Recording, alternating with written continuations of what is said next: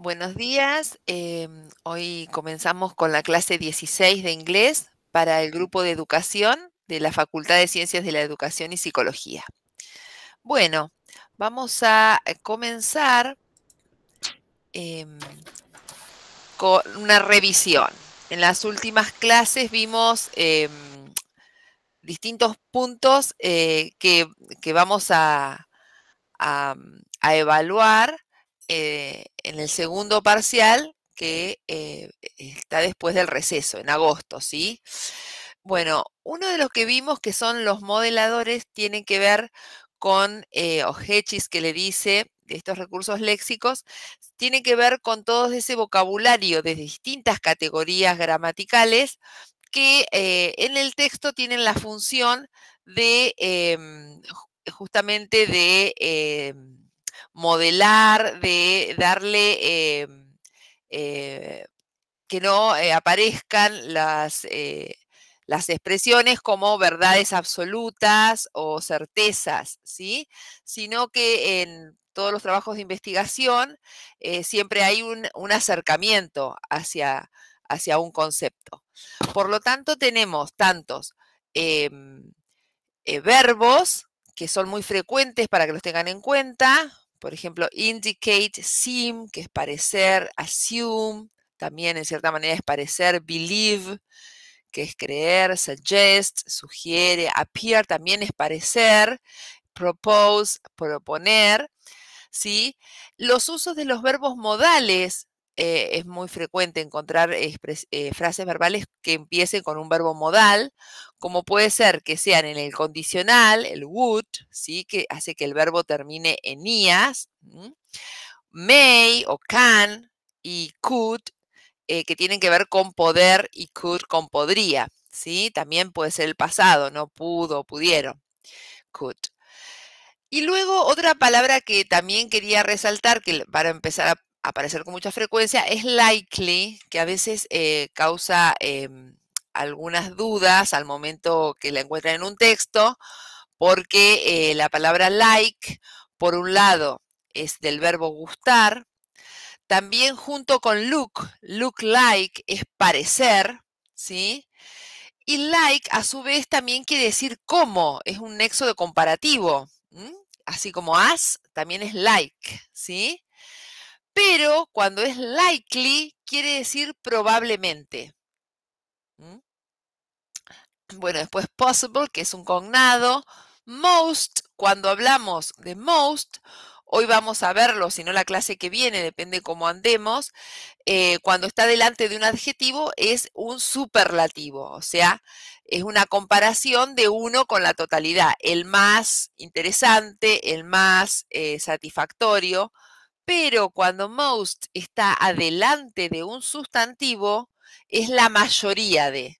Entonces, eh, no vamos a encontrar expresiones como diciendo todos o todas, sino la mayoría, porque uno nunca sabe si eso es tan absoluto como todas, todas, nunca, eh, ninguno. Esas no son expresiones que van a encontrar tan frecuentemente. Sí, la mayoría, parece, es posible, ¿sí? Todas estas expresiones son las que vamos a ver eh, en los textos, ¿sí? Después, quite, que es bastante, almost, que es casi, usually, que es generalmente, ¿sí? Esos disminuyen el efecto de, la fuerza de un verbo. No es lo mismo decir que pasa algo, ¿sí? A decir em, generalmente, ¿sí? Como uno habla de em, eh, cierta frecuencia, pero no puede ser tan absoluto. Y lo mismo probably, generally, evidently, que expresan una actitud hacia la verdad de la afirmación parcial, eh, o sea, eh, puede ser de manera parcial, de manera em, tampoco absoluta. Y eh, partially quite, que dijimos ya que bastante, em, también se acercan a un grado de precisión, pero sin ser absolutos. Y bueno, también de ahí derivan ciertos sustantivos, de pos, del adjetivo possible, tenemos possibility, ¿sí? Del verbo assume, tenemos assumption, del, eh, tenemos eh, tendency, tendencia, estimate, estimación, ¿sí? Entonces este vocabulario es para que lo vayan incorporando, porque un tema muy importante es que cuando ustedes eh, comiencen a leer, tengan incorporado vocabulario, porque em, eh, en, este momento eh, que ya están, que ya hemos trabajado la frase nominal, la pre-post-modificación, pueden em, avanzar con mayor fluidez si tienen incorporado vocabulario. Si cada palabra la tienen que volver a buscar, Em, como que pierden el hilo de lo que se viene eh, leyendo. Em, entonces, en cierta manera, podemos decir que en la parte de evaluación no solo están los contenidos, sino también la fluidez. ¿sí? Eh, hay un vocabulario que puede resultar nuevo, ese se lo vamos a ir dando, pero hay otro vocabulario que, del que ya hablamos y ya hemos hecho eh, prácticas y guías que tienen que eh, buscar algún recurso para ir incorporándolo. Otro tema que, con el que seguimos trabajando son las funciones de ING, ¿sí? Entonces, este cuadrito, yo les decía, por ahí lo pueden tener así eh, en la pantalla, pegado, ¿sí? Como referente, hasta que eh, lo aprendan con, con naturalidad. Entonces, Puede ser sustantivo núcleo en dos, situaciones, ¿sí? cuando es la última palabra de un bloque o está solo en un bloque, pero también puede ser al inicio de una frase u oración y que queda separado de la otra frase nominal. También puede ser premodificador. Como premodificador, o sea, si está ubicado adelante de un sustantivo núcleo, puede ser un sustantivo o puede ser un adjetivo o una frase descriptiva, ¿sí? Como teníamos developing countries, no es eh, países del desarrollo, sino países en desarrollo, que se están desarrollando. Eh, postmodificador. Cuando ese ing está eh, sin ninguna interferencia inmediatamente después del sustantivo, se lee que. Es lo mismo que si hubiese estado escrito ese verbo, en vez de tener ing, hubiese tenido la palabra that o which adelante, ¿sí? Y no tuviese ing. Entonces, ¿qué hace tal cosa? Eh, cuando está eh, después, está relacionado a una preposición, la mayoría de las veces es infinitivo. ¿Sí? Entonces, para realizar tal cosa. Eh, pero otras veces, por ejemplo, si yo digo Asia, ¿sí? Que está la proposición Asia, a veces es, queda mejor un sustantivo. Hacia tal lugar, ¿sí? Entonces, puede estar relacionado con esa preposición y a veces notamos que el infinitivo queda muy forzado y nos, en ese caso también ese sustantivo va separado de si sigue otra frase nominal, porque lo relacionamos a la preposición. ¿Sí? Eh, cuando está después de by, by quiere decir por medio de, ¿sí? Entonces puede ser que la resuelvan con esa preposición, por medio de, por, al, hacer tal cosa, pero si ven que no le encuentran eh, una manera de, resolverlo así, que no queda bien, pueden no leer el by y ahí en leerlo con una em, eh, andoendo, ¿sí? Entonces se resuelve haciendo algo. O sea, por medio de eh, tal actividad podría ser o haciendo algo. Cuando está después del verbo to be, es la parte más conocida, ahí funciona, ahí es la única parte que funciona como verbo conjugado, ¿sí? Como una frase verbal conjugada, porque el infinitivo es una frase verbal, pero no está conjugada, ¿sí? Ahí sí, cuando está después del verbo to be, es parte de la frase verbal conjugada. ¿Sí? Ese verbo to be puede estar en presente, en pasado, en futuro, en condicional y la última, el verbo principal termina con ing, quiere decir que algo está sucediendo o estuvo o estará sucediendo, o sea, le da la idea de continuidad. Entonces, por eso la terminación es ando, endo. Y cuando está después de la coma y no tiene el verbo to be, también se traduce ando, endo porque es como que expande una idea, ¿sí? Eh, como que se amplía esa idea o una cláusula de causas y causando tal cosa. Bien, Con respecto a las frases verbales, por el momento no estamos trabajando con los tiempos verbales, sino con la estructura. Entonces, lo que reconocemos son los tipos de verbos, ¿sí? Y los casos especiales, por ejemplo, del verbo to be o de have más to, que es eh, deber o tener que hacer algo. Y reconocer, esto es muy importante, que reconozcan los verbos modales. Y en el caso de los verbos auxiliares, reconocer cómo están funcionando, si como verbos auxiliares o verbos principales, ¿sí? Bueno, y a veces lo más difícil es la frase verbal simple. Es encontrar en un texto o en una oración el verbo, ¿sí? Porque muchas veces se confunde con un sustantivo. Bien, los verbos, eh, acá teníamos, este cuadrito también lo, saqué de, de, otra clase que hicimos, tenganlo presente, ¿sí? Eh, y acá están todos los casos especiales que también los saqué de otra, de la clase anterior, también para que tengan presente, por ejemplo, los auxiliares cuando están en la pregunta, si es do o does, ahí sí me marca presente y va a estar después una frase nominal y después el verbo. O sea, la frase verbal puede estar, eh, puede ser una sola frase verbal, pero que esté en dos partes de la oración. ¿sí? Si es did, está en pasado. Eh, en el caso de have teníamos, eh, parece este, que fuese pasado, cuando yo digo ha o han enseñado, sin embargo, ese tiempo que tal vez nosotros en, en la parte de Río Platense, o sea, la parte argentina, no lo usamos con tanta frecuencia, no hace una referencia explícita al pasado, sino algo que tal vez comenzó en el pasado, pero sigue eh, vigente en el presente. Si yo digo, yo he enseñado por 40 años, durante 40 años, quiere decir que yo hace 40 años empecé a enseñar y ahora sigo enseñando. ¿sí? Si yo ya no me dedico a enseñar, yo enseñé, yo hace 10 años enseñaba o yo enseñé por tantos, eh, durante tanto tiempo, pero ya no lo hago más. Entonces, ese ah, ha hecho algo es algo que comenzó en el pasado, tiene su incidencia en el presente o hay algún rastro en el presente. Si yo eh, em, eh, veo algún indicio de lo que ha quedado o no me refiero tanto al tiempo, puede ser por eso el primer verbo es el que me está diciendo el tiempo, ¿sí? Bien. Bien, teníamos una tarea bastante larga porque, bueno, tuvimos el martes un paro activo que yo no pude asistir, bueno, por este problemita de salud que les estaba comentando, no pude eh, asistir a la clase de consulta. Em, así que eh, vamos a, ver eh, cómo, cómo trabajaron acá.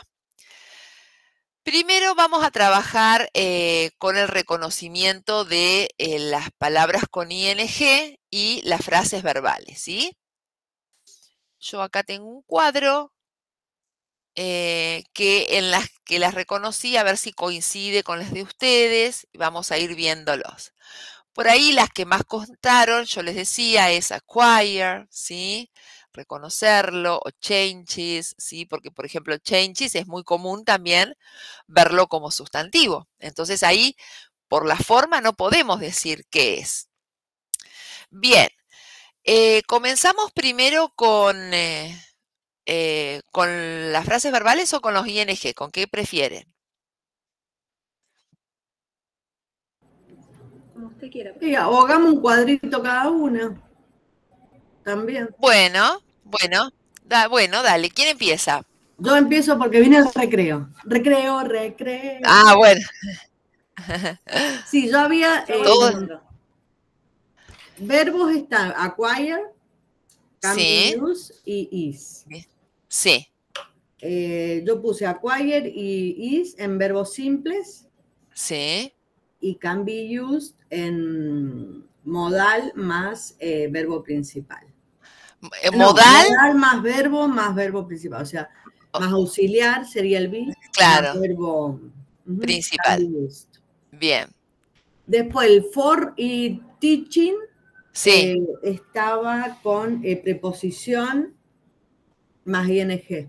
Entonces se lee ¿cómo? Cuando es preposición más ing. Eh, puede ser usado para enseñar el contenido de los cursos. Claro, infinitivo. ¿sí? Infinitivo. Generalmente es infinitivo, puede ser también em, sustantivo, ¿sí? Bien. Bien. Para la enseñanza también podría ser. ¿Mm? Bien. Y después el onti learning también. Em, Claro. ¿Y ahí qué elegiste?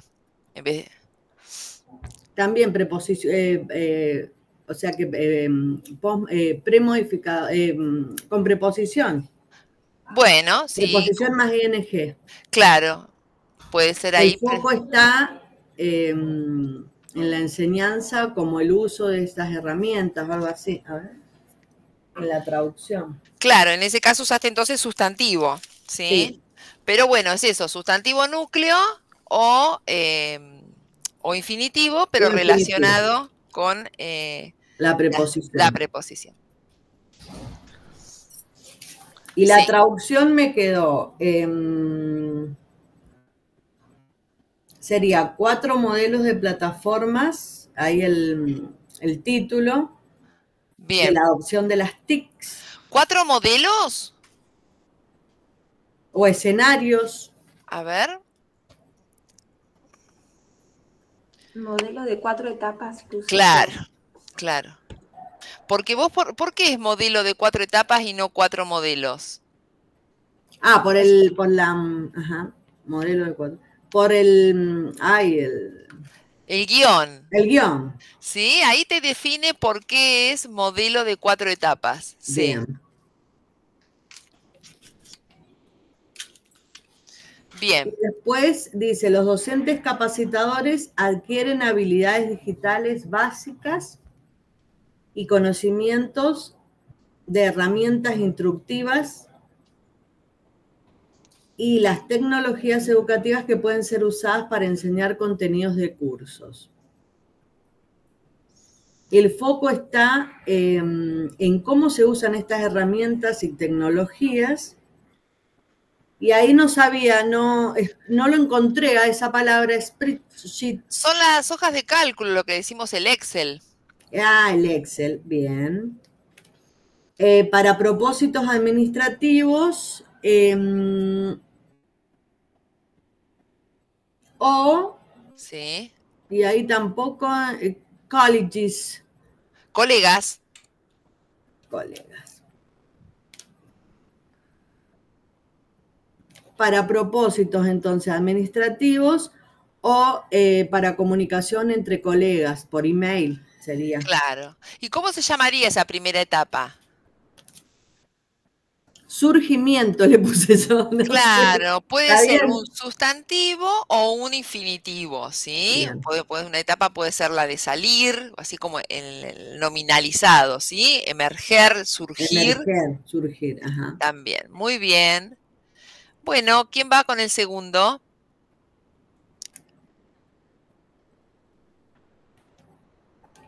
Yo, profe. Ah, ahí Fabiana levantó la mano. Hola, buen día. ¿Se escucha? Sí, sí, sí. Ah, perfecto. Bueno, eh, la segunda etapa yo le puse como que es aplicar. Bien, muy bien. Aplicar o aplicación, o sea, ustedes guardan el criterio, ¿sí? Sí. Yo lo dejé todos en infinitivo, como me parecía que eran como etapas, este, pero bueno.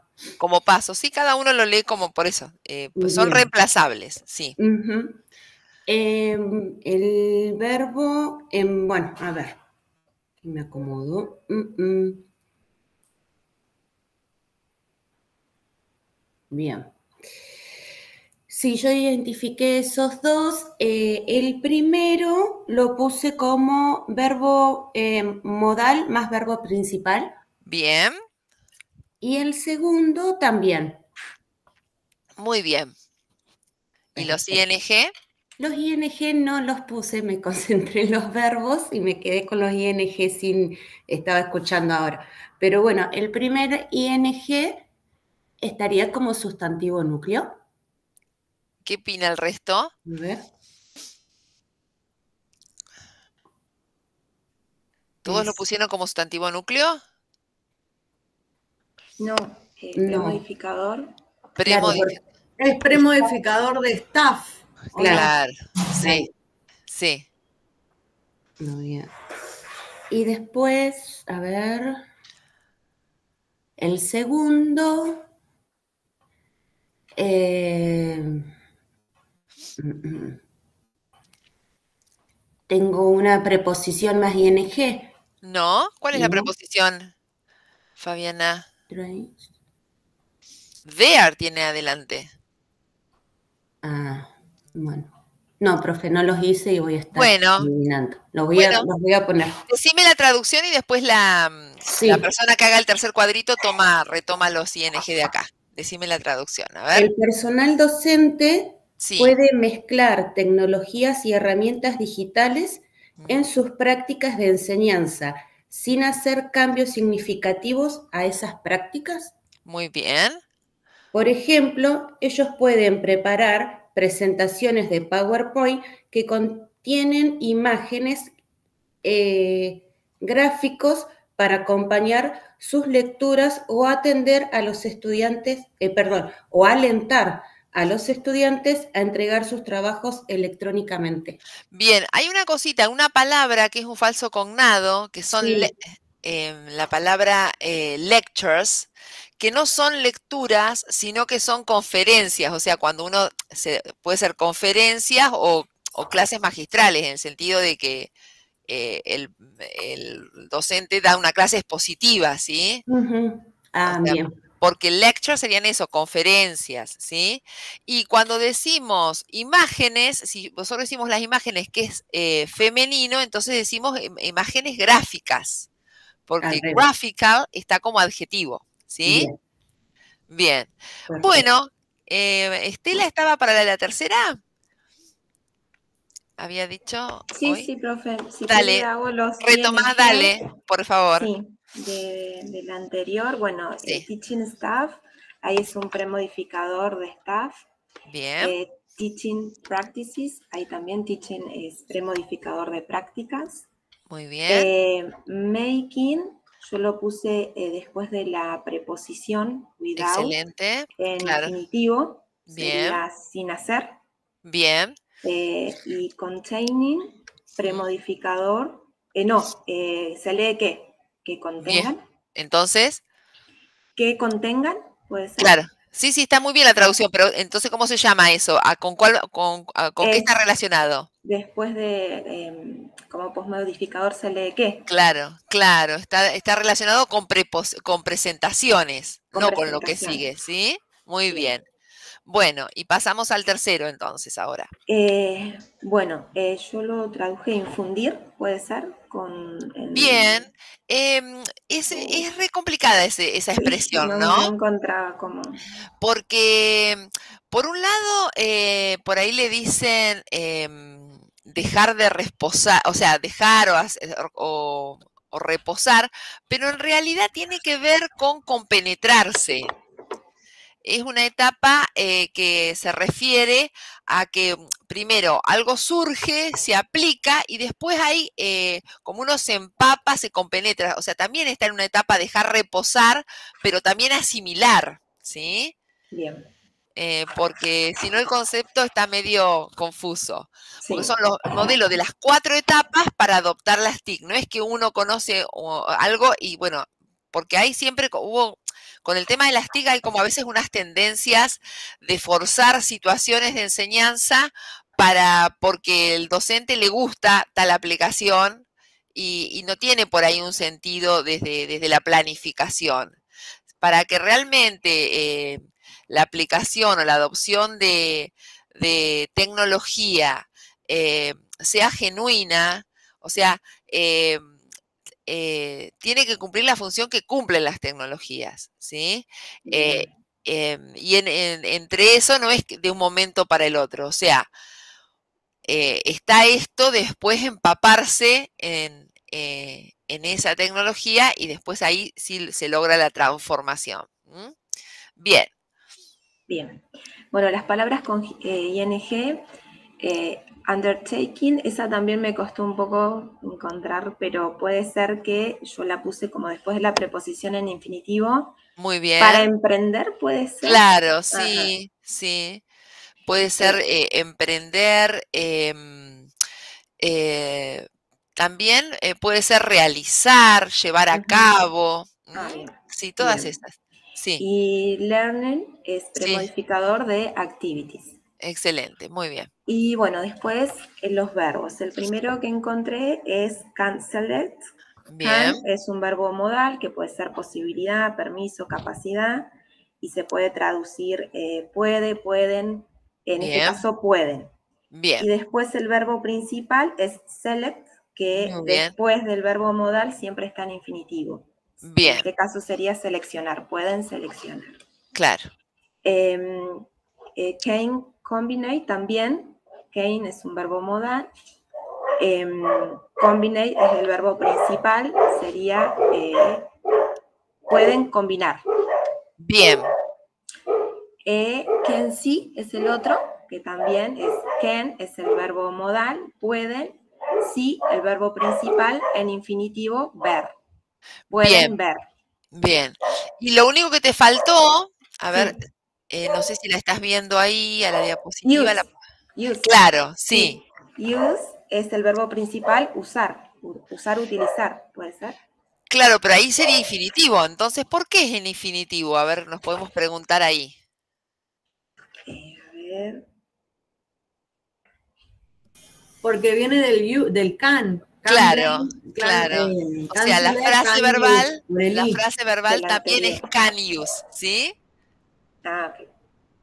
Bien. Bueno, y la traducción me quedó algo así.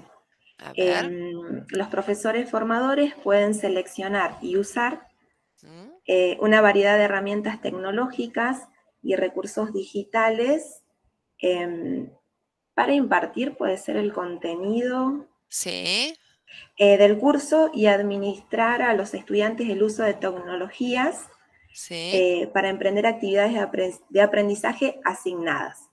Bien, Em, los profesores formadores pueden también combina- combinar el uso de tecnologías nuevas con el uso de más enfoques pedagógicos centrados en el aprendizaje y pueden ver los beneficios de la digitalización en términos de una mejor participación y resultado de los estudiantes.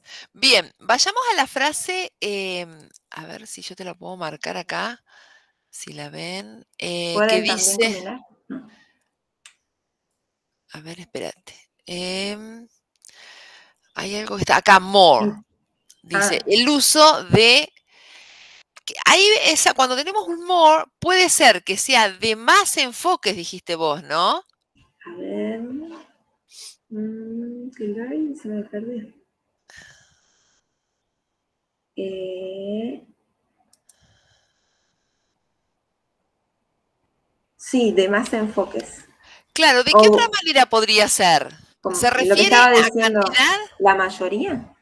No, o No. sea, no, la mayoría de eso es most cuando está directamente con most. sustantivo, pero el más puede estar modificando a los adjetivos. Entonces, ¿cómo podría ser? ¿Con el uso de qué? Si, mo- si modificara a los eh, adjetivos. Mayor, mejor. No. Como a ver, ¿cuál es el núcleo? ¿El uso de qué cosas? De los enfoques De los enfoques. ¿Qué tipo de enfoques? pedagógicos. Bien, centrados. enfoques pedagógicos, pero más centrados. Ah, ok. ¿Sí? Más centrados. Podría ser las dos cosas, no es que esté mal como lo pensaste, pero eh, en este caso, por el sentido, más. estás, re- está modificando, no está refiriéndose a una cantidad, sino que está comparando en la, en la parte de adjetivo, más que el otro, ¿sí? Y después Bien. había otra cosa que dijiste. A mí lo que me eh, costó sí. el, el improve al Sí. final eh, como adjetivo si era una mejor o mejorada. Sí, en realidad es mejor, en términos de, eh, claro, de resultados y compromiso o participación del estudiante, eh, mejor o mejorada, pero Ah, bien. se queda bien mejor. mejor. Pero Sí, improve quiere decir mejor. que eh, en vez de mejorada podría ser eh, superada. Yo puse de mejorar el compromiso. No, eso Es ahí que no. mejorar porque ahí- sería claro, un verbo, ¿no? claro. O, o sería, eh, claro, acá está como adjetivo. Adjetivo. O sea, mejor o eh, superada o eh, sí, eh, sobrellevada. O sea, esto que, que- que avanzó, ¿sí? Bien. Otra cosita, quisiera volver a Estela, en la primera traducción, en la parte, ¿cómo dijiste que ahí me perdí? Pueden seleccionar, bueno, y usar un qué? Array, ¿cómo es? Una variedad Sí, ¿de qué? de herramientas, Sí. tecnologías y recursos digitales. Ah, porque ahí Porque lo, lo eh, claro, lo puse todo como un bloque. Ah, Sí. bien. Bueno, está muy bien. Eh, también podía, si alguien puso Sí, herramientas digitales, digitales, tecnologías y tecnologías y recursos, recursos. también, también puede decirlo, ¿sí? De las dos maneras. Muy bien, muy bien. Bueno, ¿y quién está para el cuarto?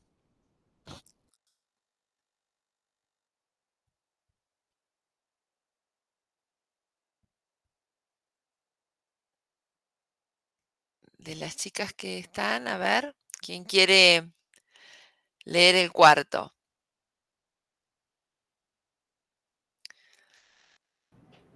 Milena, Rocío,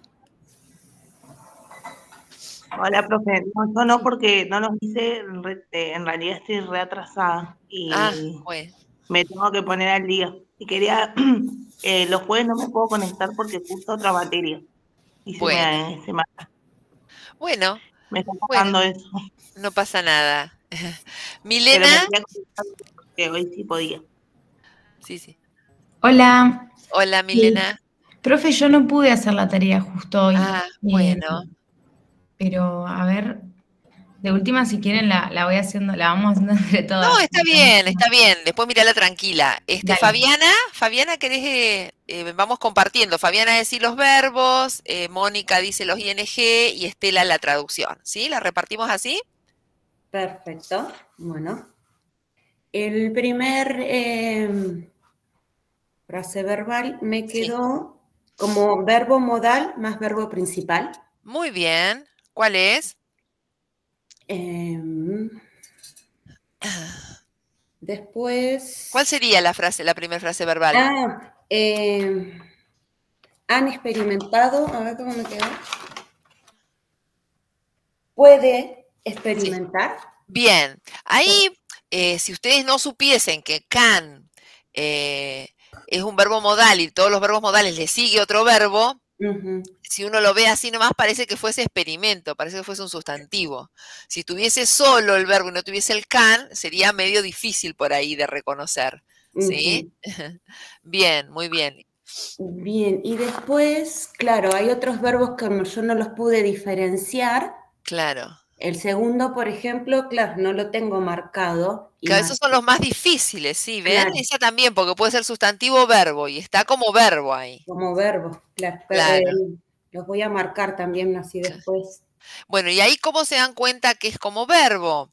Y porque estamos hablando em, su rol, y si yo digo sus cambios de rol desde los iniciadores, y veo que no siguen ninguna frase verbal. Entonces, todas las oraciones tienen que tener un verbo. ¿M? Claro, Entonces ahí su rol cambia, ¿sí? De Ah. tal a tal, ¿sí? Y lo mismo la otra, encourage. Esta eh, es más fácil de reconocer porque el they es un pronombre. Y los pronombres eh, ya son una frase nominal, no le puede seguir otra frase nominal. Les tiene que seguir a un pronombre, siempre le sigue un verbo, ¿sí? Porque ya es Ah. ellos o ellas hacen algo, ¿sí? Entonces, después de un pronombre siempre sigue un verbo. ¿Mm? Bien. Y después tenemos esta palabra que vimos hoy en la otra frase verbal. Está are, ¿sí? Que es sola. sí. Bueno. Eh, yo, claro, yo lo marqué con el otro, pero Bueno, no importa, quedaría- está bien, lo pueden, eh, no, no hay problema que los marquen a los dos, pero acuérdense que likely, ¿qué es? Eh, mm, a ver, ¿cómo me Es quedó? probable. Probablemente. Claro, ¿sí? Ah, bien. Y bueno, y en este caso, este caso no lo vimos, creo, no está en la planilla, pero también es un caso especial del R. Ajá. ¿Sí? Em, porque ustedes en la traducción, después ahora la vamos a ver, em, le- no, no les quedó tan transparente como, como en otros casos que aparece AR. Ya lo vamos a analizar. Bien, eh, los ING, ¿querés decirlos, em, Mónica? Bueno, gracias, Fabiana. Bueno, profe. Bueno, teaching eh, Sí. está pre, eh, premodificando staff. Bien, tú cre- en, en aging, yo Sí. lo puse en. No lo puse en Está ningún lado. claro, está Es difícil ese. cautivador. Sí, ese no lo, ese no lo hice, mira. ¿Cómo sería ahí la frase? Fíjate en la traducción. ¿Cómo fu- fuiste ahí a la traducción? A ver esa partecita. Para crear, ¿Para crear qué cosa? para colaborar con colegas. No, no, no, para crear. No. ¿Dónde estabas para crear? ¿A dónde está? Para La primera-. Para crear, donde decías. Enfoques para crear. Para crear los ambientes cautivadores de aprendizaje significativo, puse yo. Bien. Cautivadores es la palabra. Ahí. Claro, cautivadores. Y entonces vos dijiste Bien. para crear los ambientes. Ambiente es el núcleo. Entonces, ahí que está Entonces, engaging. es un premodificador. Claro, un adjetivo premodificador, claro. Bueno, learning no es adjetivo premodificador, acá es adjetivo, son dos adjetivos. Adjetivo. Porque fíjate, eh, Mónica, que vos tenés meaningful. Meaningful termina en full. Las palabras que terminan en full son adjetivos. Y está unida con engaging. O sea, los Bien. dos son de la misma clase. Bien. ¿Sí? Engaging and meaningful. Entonces Bien. los dos son adjetivos. Bien, Buenísimo. learning es premodificador, Es pero es pero sustantivo. perfecto. Muy bien. Y después, em, learning lo puse también como premodificador. ¿El otro? Mm, El, no, postmodificador, el otro learning. ¿Qué se dice? ¿Estudiantes que aprenden? ¿Pusiste? Eh, claro, estu- el, apren- el aprendizaje de estudiantes. Ah, ¿y entonces qué es? Si es el Eh, aprendizaje. Eh, premodificador. No, Ah, postmodificador. tenés no. Sustantivo núcleo. Sustantivo núcleo. Tenés Sustantivo. student learning. Learning es el sustantivo núcleo. Bien. ¿Sí? ¿Lo ves Sí, en la sí. frase en inglés? Ahí Sí, sí. está. Bien. Después, self-learning. Sí.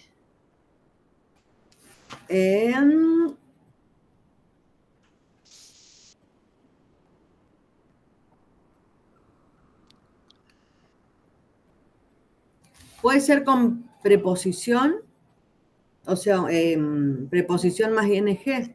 No, fíjate que justo está rodeado de or y después de and, que son esas que tiene- refieren a las mismas categorías.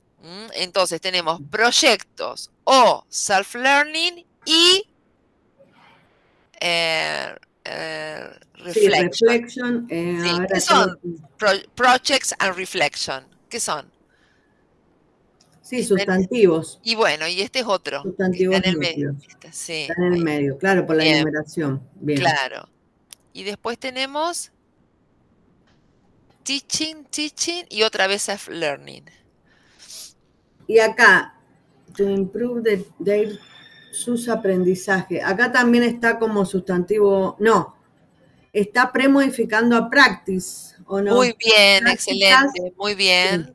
Mm, Prácticas de enseñanza, puse. Muy bien, muy bien.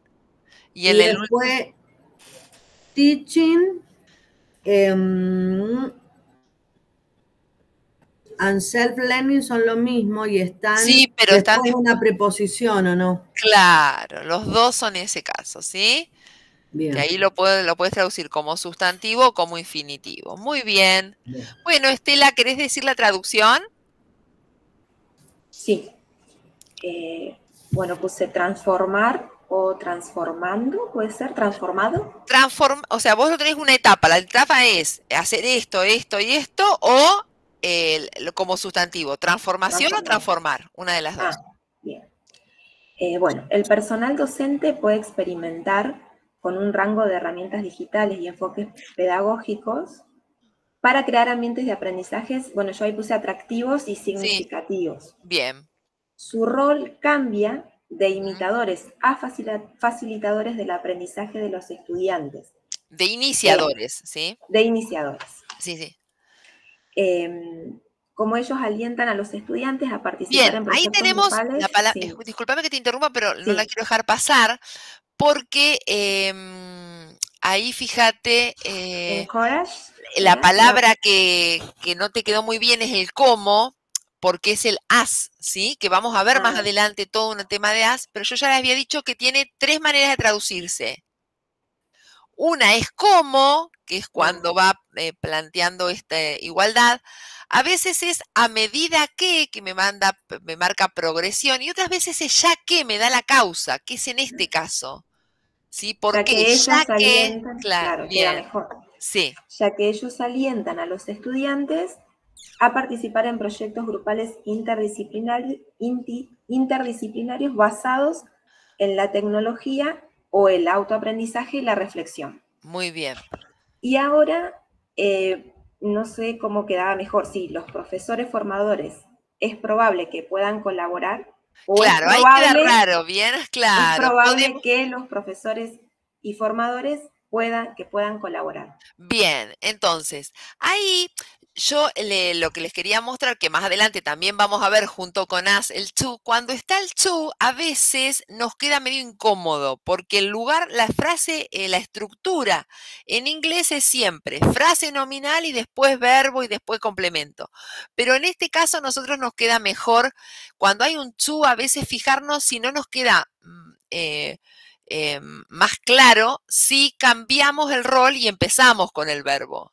Entonces es probable que, ¿sí? Bien, es probable que los profesores formadores puedan colaborar con colegas para mejorar sus prácticas de enseñanza, como su uso de herramientas digitales y tecnologías para la enseñanza y el autoaprendizaje. Claro, él no dice puedan colaborar, sino colaboren. ¿sí? Ah, Porque está ahí como en infinitivo, pero no, si no estuviese, estaría con ah, be able, ¿sí? Claro. Muy bien, excelente. Bueno, bueno, ustedes acá van a tener, entonces, em, ay, que la quiero enganchar ahí para pasar, eh, otra diapositiva con, la, con, la, con lo que estuvimos y la otra con la traducción, ¿sí? Cuando lo vayan a controlar. Em, tenemos ahora este otro cuadro. ¿Hacemos de la misma manera un cuadro cada una? Y uno lo, lo compartimos. Bien. ¿Les costó mucho esta tarea? Es, este me costó más que el anterior, me parece. Este. Porque ¿Ah, es cortito y. Bien. Entonces, yo directamente, en vez de tenerlo acá, ya les paso a la otra parte donde están reconocidas, ¿sí? Las palabras. Bueno, esto ya, ya lo estuvimos charlando, son las mismas etapas. ¿Sí? Claro. Puede ser en infinitivo. Eh, hablemos de lo que están adentro de los cuadritos. Bueno, ¿comenzás entonces, Mónica? Bueno, el teaching y learning están los dos eh, post modificando a TV, a ver, Espera que tengo un lío porque lo hice como cuadro también. Es la 3. Sí. Claro, están eh, premodificando en, a TBGT esa sigla. Si fuese así, si fuese así, serían eh, la... Yo puse conocimiento de oportunidades de las TICs para mejorar la enseñanza y el aprendizaje de los TBE, que es... Claro, y entonces... Y entonces, si lo pusiste así, mejorar es enhance, es un, eh, verbo que tienen que ir incorporándolo porque aparece muy, muy seguido, ¿sí? Como si fuese improve, ¿sí? Esos dos. Ese lo tienen que anotar en su glosario para ir aprendiéndolo. Premodificando sería. ¿Están premodificando? ¿O posmodificando? ¿O no dijiste la enseñanza y el aprendizaje de la FTP? Ah, son sustantivos núcleos. Claro, claro. Bien. Bien, eh, ahora eh, vemos, eh, bueno, frases verbales ahí no tenés. No, acá no tengo nada. Bien, seguimos con el otro, porque bueno, sería este, que es muy cortito, lo completamos con el otro y después uno para cada uno para las chicas. ¿sí? Bueno. A ver, Em, y acá en, en aplicación, el primer cuadro sería. sí, Eh, yo lo traduje, el uso de las herramientas productivas de las TIC para la enseñanza y el aprendizaje. También sería lo mismo, los dos sustantivos núcleos. Teaching and learning. pero ahí dijiste para la enseñanza y el aprendizaje, o para enseñar y aprender podías haber puesto también.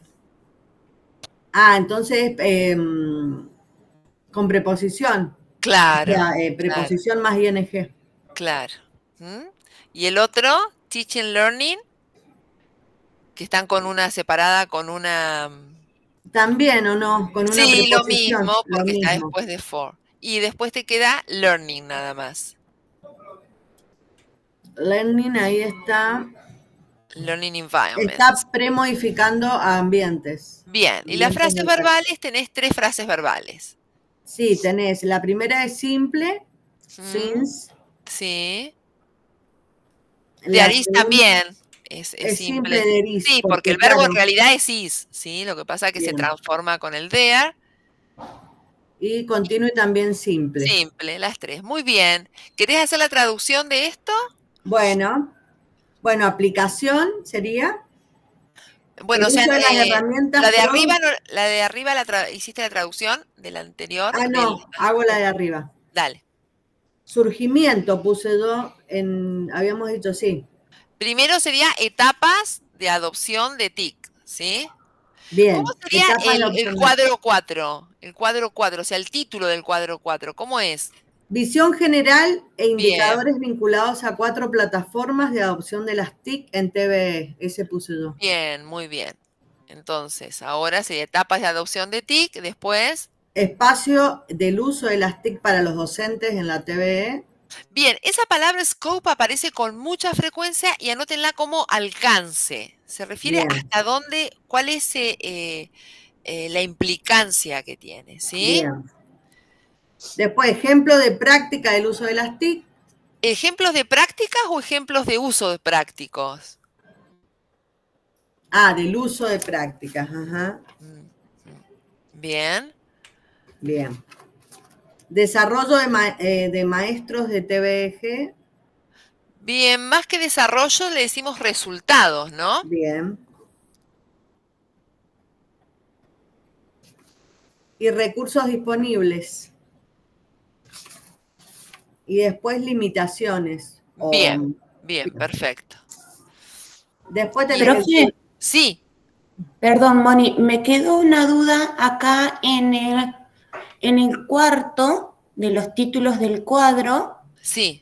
Em, ¿Cómo dijo la palabra? Porque claro, Resultados. Resultados. Resultados, ok, gracias. Resultados de los docentes, ¿sí? ¿Cuáles serían los? Bueno, después tenés surgimiento, uso de las herramientas eh, TIC disponibles. Bien. La aplicación de extensión para calcular las marcas en valor. O sea, la- las marks son las notas, Bien. ¿sí? Eh, de evaluación. Y spreadsheet es la hoja de cálculo. Bien. Oja, eso no sabía qué era. Aplicación de hoja de cálculo para calcular las notas de la evaluación, de evaluación, Bien. ¿sí? Bien. Conocimiento de oportunidades de las TICs para mejorar la enseñanza y el aprendizaje en los TVE. Bien.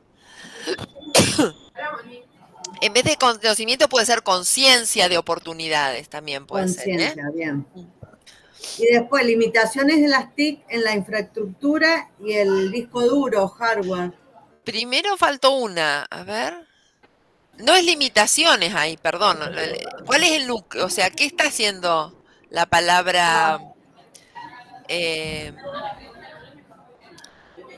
Acá, limitaciones de las TIC en la infraestructura. Puse, a ver, ahí, esta es hardware. ¿Está como es- núcleo limitaciones, dice? Termina con ed. Ah, límite. ¿Cuáles son los núcleos?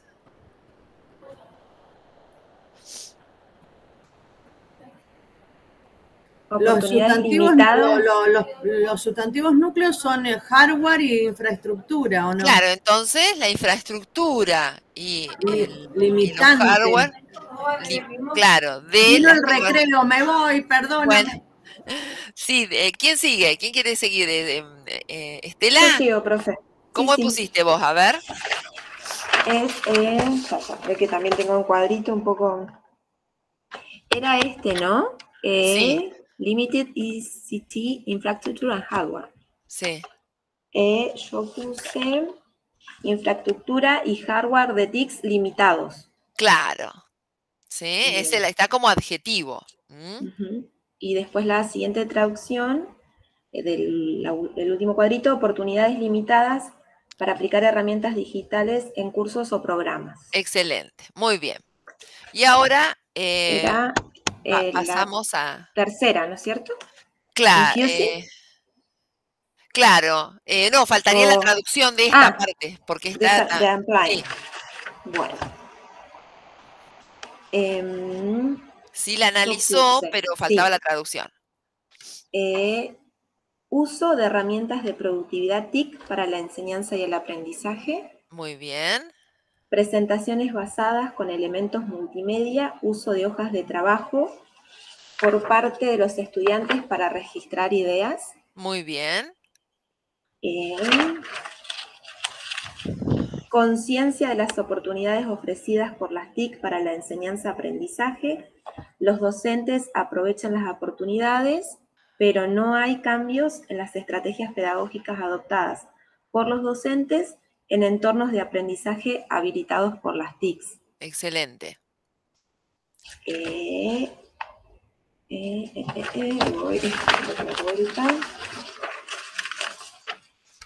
eh, infraestructura y hardware de TICs instalados en los campos. Bien. Los docentes continúan actuando como principales conductores del aprendizaje. Perfecto, muy bien. Entonces ahora vamos a analizar el, em, ahora sí el tercero, ahí eh, corresponde el análisis y... Bueno, las palabras ING, la primera, sí. learning es premodificador de needs. Bien. Como adjetivo. La segunda, learning, their, our learning, es sustantivo núcleo. Perfecto. Eh, la tercera es premodificador de ambientes.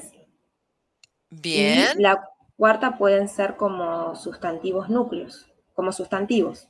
Sí, pero fíjate, dice, eh, ahí no está relacionada la preposición, ¿no? Porque habla de iniciadores de, ¿de qué? De la aprendiz, de la enseñanza. de actividades. Ah, de actividades. Ah, o sea que entonces premodifican actividades. Claro, son premodificadores, sí. Y las frases verbales son poquitas. Bueno, son dos eh, simples Sí, y are. Sí, del verbo Pero Sí, del verbo to Muy bien. bueno, la traducción. Em, sí, la traducción. Estaba mirando que me parece que no pinté una otro ing que falta, ¿no? ¿En, ¿En esa? Sí, en esta, fija, using. Estaba mirando. ¿Lo ven acá? A ver si yo lo puedo marcar con esto. Eh, este de acá. Miren, no lo pinté. Ah, sí.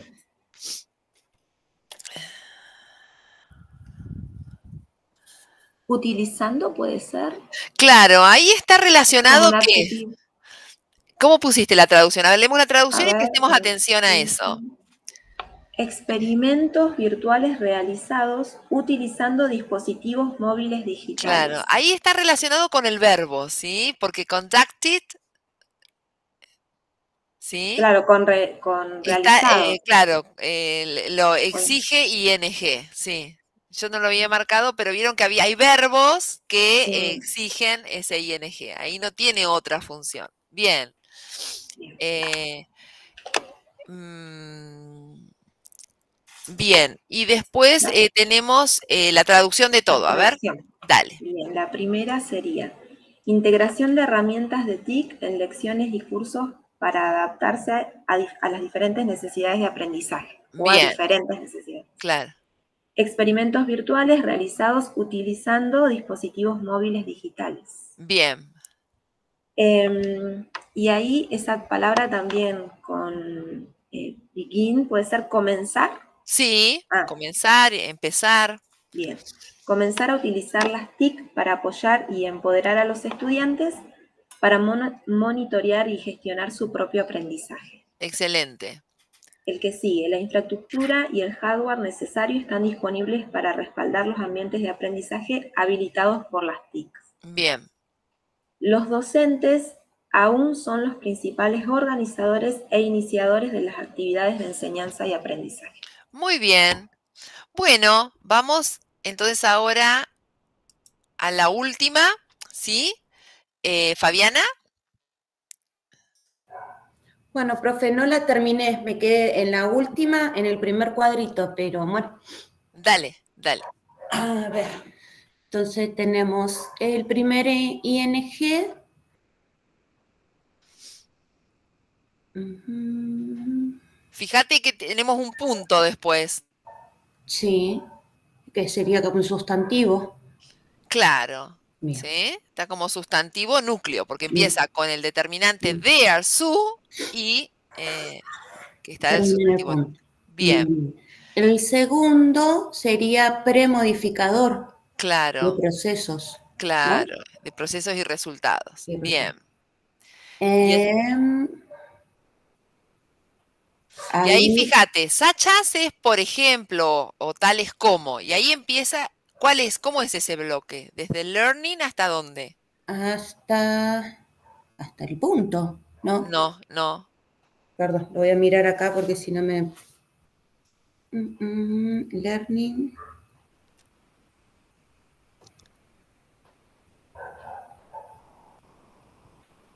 ¿Vos cómo lo pusiste, Estela, ahí?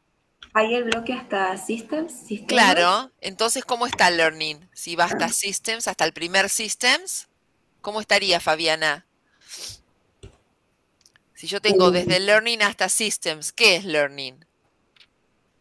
Learning es aprendizaje, sería, estaría como sustantivo. Sí, es aprendizaje, pero ¿cómo? ¿Núcleo o premodificador?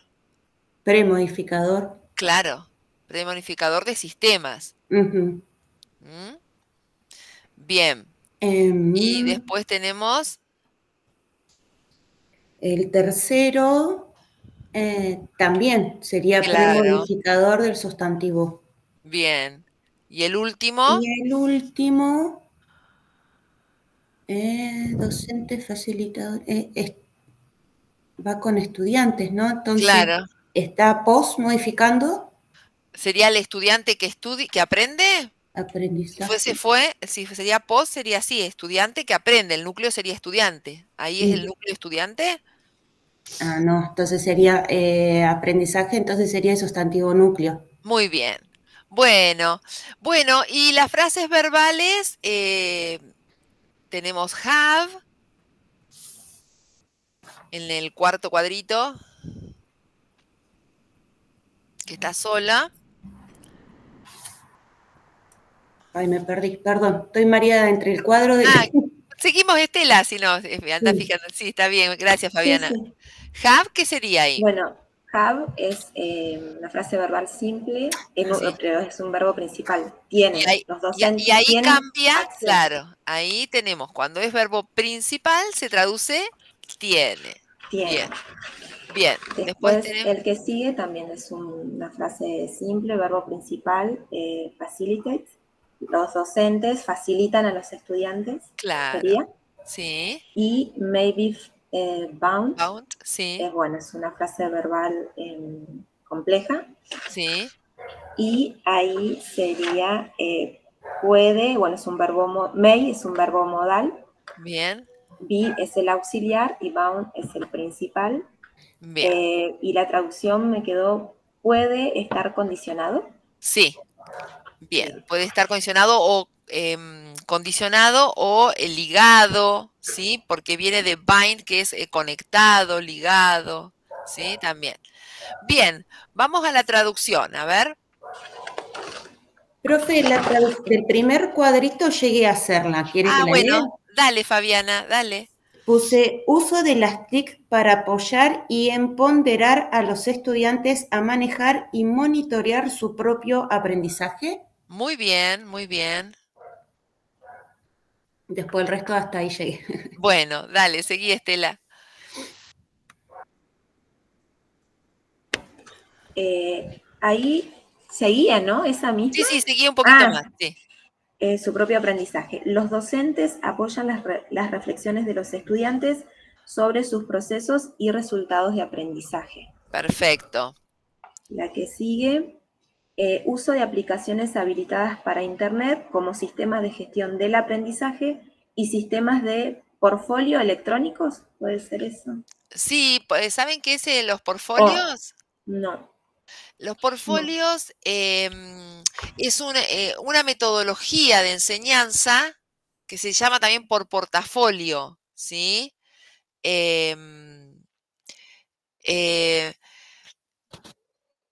Eh, eh, a ver, eh, cómo se, el- o sea, cómo se va a ir evaluando, quiere decir, ¿sí? Entonces es como, em, bueno, tiene que ver eh, eh, en- dentro de las metodologías de cómo se enseñan y cómo ese- se integra la evaluación a la enseñanza, que se llama por portafolios. Y en este caso serían Sí, electrónicos claro. pues, con el uso de tecnología. Bien. Sí. Y ahí tenemos otra vez el AS.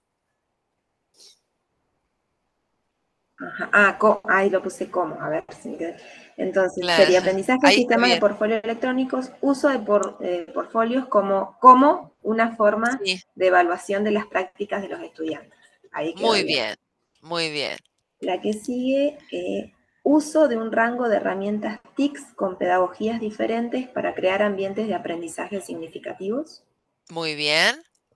Eh, los docentes tienen acceso a una sólida infraestructura, hardware y recursos de TICS y a un currículum o a un plan de estudio transformado. Muy bien, excelente.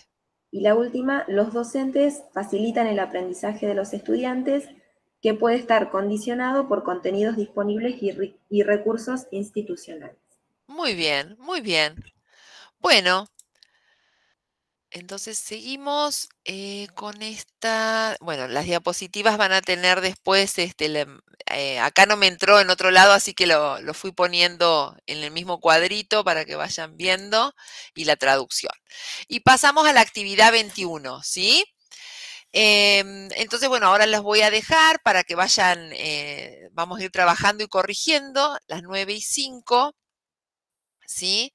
Eh, entonces, ahí lo mismo, dice, lea la página 24 de la publicación UNESCO, identifique los matizadores y brinde una versión en castellano de todo el texto. ¿Cuáles son las palabras o las frases? Después vamos a ver también, eh, eh, mientras hacemos la traducción, si encontramos alguna otra cosa, pero principalmente fijándonos en ese cuadrito, qué vocabulario encontramos ahí, que podríamos decir, bueno, acá en vez de hacer una eh, afirmación contundente, eh, la va matizando eh, con, ciertas, con, con cierto vocabulario, ¿sí? Y van haciendo la traducción. Esta sería la, la partecita. Les doy unos 15 minutos, ¿puede ser? Nos vemos entonces. ¿Alguna pregunta? Y después hay un cuadro de relaciones que es muy simple, ¿sí? Tendríamos que utilizar este cuadrito, el de los matizadores. Sí, eh, más que Oh. sí, hay pocos, no hay en realidad. Al Ah. final el texto no, no tiene tantos, pero bueno, es como para ir charlando. Van haciendo la traducción y van fijándose, ah, claro, esta palabra eh, acá está teniendo esta función. No es algo que les vamos a preguntar, sino algo que, eh, una reflexión sobre el lenguaje, que también para que ustedes lo tomen en cuenta. Yo que, que eh, en mi rol, por ejemplo, de, como directora de tesinas o de tesis, es como que se trata de poner y esto va a ser así, y esto ayudará, y esto será. Tengan cuidado con eso, ¿sí? Eh, Y se cree y posiblemente, o sea, no podemos ser así tan certeros con lo que va, así de, de, de describirlo eh, sobre algo, sobre un estudio que estamos haciendo, sobre un análisis de lo que estamos haciendo. Parece que, entonces, eh, es eh, más que nada es una reflexión sobre la escritura, ¿sí? y a ver si los reconocen. Y también esto para que ustedes después lo incorporen en la escritura en castellano. Bien, entonces este y, em, sería eh, y 20, y 20 les pregunto cómo van y lo corregimos. Reconozcan si hay una palabra con ing y todo eso, vamos a ir viéndolas. Lo mismo las frases verbales, ¿sí? Bueno, ¿alguna pregunta? Y si siguen, si les sobra tiempo, porque para ahí les resulta sencillo, yo paso rapidito la... Ahí está este cuadrito, que es muy simple. Lo hacemos después eh, eh, en el momento, ¿sí? También tiene eh, un cuadrito que, tiene que ver con el contenido de lo que dice, que por ahí no nos estamos tomando el tiempo para hablar de lo que estamos leyendo, ¿sí? Sobre la enseñanza. Entonces, bueno, para que ustedes también me cuenten un poco a ver qué ven, qué es su experiencia, de su conocimiento en este cuadro lo que plantea. Si, si, ven que de esos 15 minutos les sobra tiempo, den una miradita para ver cómo les parece que van las flechas, qué quiere decir, ¿sí? ¿Está claro? Sí, profe. Bien, profe. Bien, entonces acá, ahí está. Bien. Ahí les dejé la diapositiva y ustedes lo tienen en el cuadernillo, me parece, ¿no? Sí. ¿Sí? Bueno, listo. Nos vemos en 15.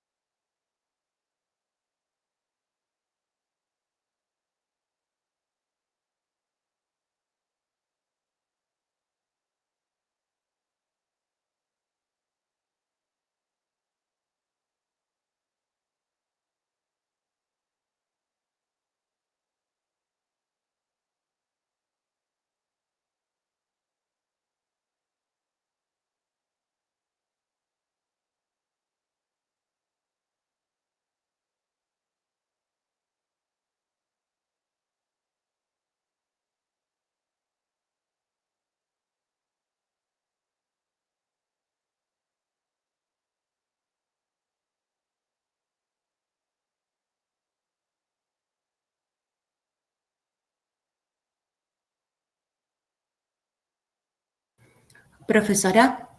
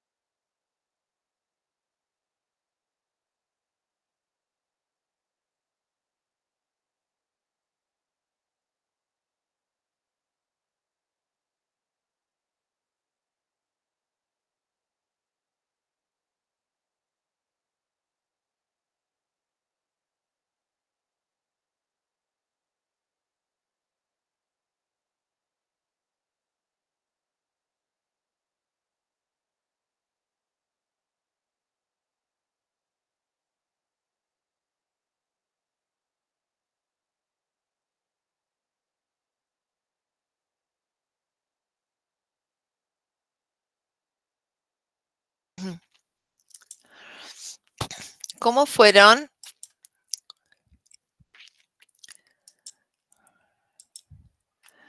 ¿Ya terminaron? ¿Cómo van?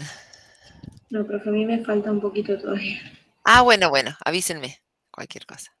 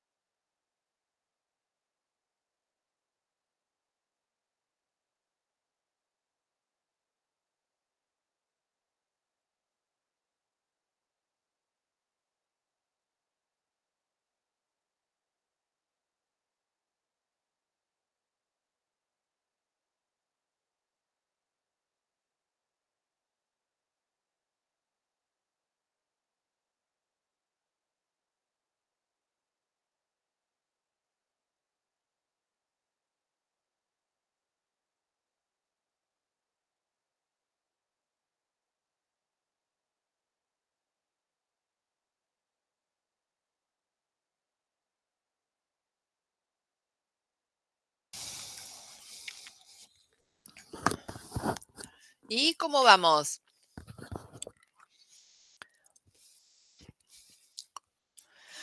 ¿Estás en recreo, Mónica, todavía?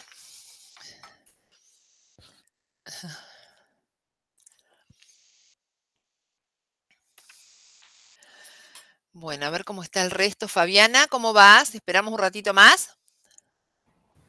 Profe, recién arranqué porque tuve que atender una llamada del trabajo, disculpe.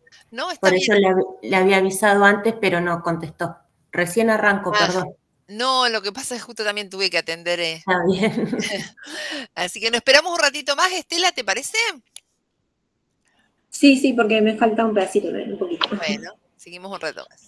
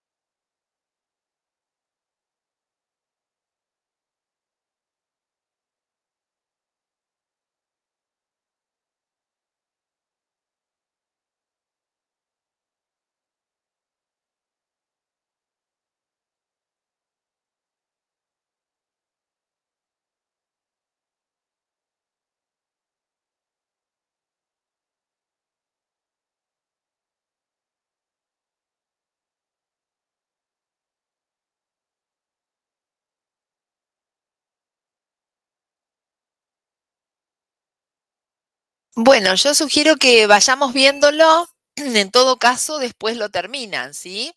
Pero vayamos viendo algunos, algunas partes del texto.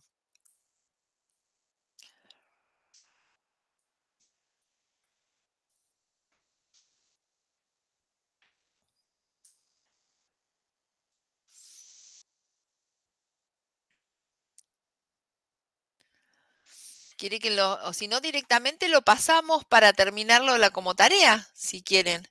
¿Sí? Y lo dejamos de tarea esta, la actividad 21. ¿Sí? ¿Les parece? Así la terminan y después la, yo les saco estas diapositivas que siguen y la charlamos la clase que viene.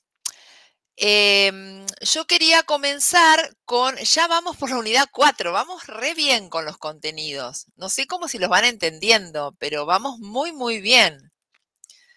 Son cinco unidades y vamos por la cuatro. Eh, así que bueno, también me da tranquilidad esto porque, porque vieron que vamos a participar de esto del COIL. Y eh, bueno, así que lo podemos hacer tranquilos porque vamos a tener ya bastantes elementos a favor para poder trabajar el texto y, y no les vamos a estar robando eh, eh, tiempo a algo que estuviese programado, sino que lo vamos a poder incluir perfectamente. Bueno, justo hoy estuvimos hablando del tema de comparaciones. Es muy sencillo, tampoco es un tema que nosotros tratamos de que ustedes lo visualicen, eh, pero no es algo que em, que les va a dificultar. De hecho, ya la, venían leyendo. Es simplemente algunos puntos a tener en cuenta y ver cómo está este tipo de comparación, ¿sí? que aparecen siempre en los estudios y procedimientos. Entonces, ah, no, sé si está bien la página, ¿no? Eso no lo chequeé. No sé si está en la página, me parece que no, que, que tenía que corregir la página donde está la comparación de la unidad 5. ¿Qué página está? A ver. Yo tengo por acá la carpeta. La página 53 arranca con comparación. al revés, entonces, sí, está, hay que corregir eso, eso lo voy a corregir en la diapositiva. De la página 53 a la 55 es, ¿no es cierto? Me faltó corregirlo. Em, y las traducciones están en el cuadernillo, pero presenta en particular expresiones de similitud y equivalencia, ¿sí? Eh, que en este caso son as, as. Este es uno de, los, de las funciones de la palabra as. A veces aparece así, as, as o so as. ¿Sí? Entonces va a presentar una comparación entre que es tan funcional como esto. O sea, un teléfono que es tan funcional como un smartphone, ¿sí? Bien, por otro lado, dentro de esta eh, oración hay otro caso que es largest, que termina en EST. Ustedes conocen la palabra large, que es grande. Si dice largest, ahí no sería de similitud equivalencia, sino sería de superioridad. Y de una superioridad, que ahora lo vamos a ver el caso de comparación que aparece ahí, de uno con el resto. Entonces, acá de qué estamos hablando? MTN estamos hablando. ¿Qué es qué? ¿Qué viene a ser MTN? ¿Cuál es el núcleo ahí? Fíjese que tiene un apóstrofo.